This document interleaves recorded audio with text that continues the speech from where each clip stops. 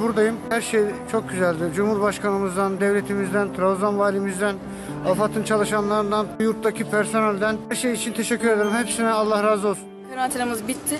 Her şey mükemmeldi kesinlikle. Hizmetler, yemek olsun kesinlikle çok iyiydi. Savurumuzu çok güzel yaptık. Mükemmel gösteriler oldu 23 Nisan'da. O bizi çok mutlu etti. Gerçekten çok güzel ağırlandık her açıdan. Yani ev konforunda biz burada ağırlandık. Ee, Çok teşekkür ediyorum her şey için. İlk önce e, Cumhurbaşkanımıza, devletimize ve siz değerli AFAD ve diğer arkadaşlara içtenlikle teşekkür ediyorum. Öncelikle bana burada bütün destek olan ekibe çok teşekkür ederim. AFAD olsun, Cumhurbaşkanımız olsun, burada çalışan bütün yetkililerimiz, polis ekiplerimiz. Hepiniz iyi ki varsınız. Bütün sağlık çalışanlarımız hepiniz iyi ki varsınız. Çok teşekkür